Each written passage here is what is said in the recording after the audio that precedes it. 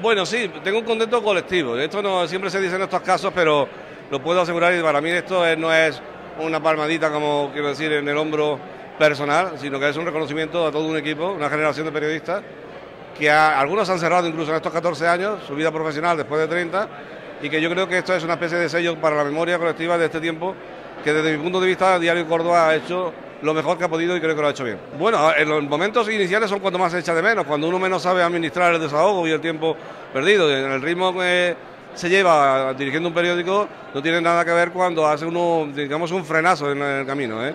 Hay, un, hay una especie de vacío que es de responsabilidad, es de apego, es de agenda, es de día a día, que eh, tarda uno en acostumbrarse, pero tampoco, quiere decir, estoy muy bien, eh, le estoy dando, digamos, una visión muy positiva al tema son muchos años ya, yo creo que había tenido récord ya de, de tiempo de una, en la dirección del Diario Córdoba y estoy pues, fantásticamente bien.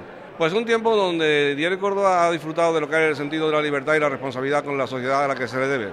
Pues 14 años de libertad y compromiso con Córdoba. Veo amigos que incluso había ah, perdido, tenía, no tenían el código, digamos, actualizado.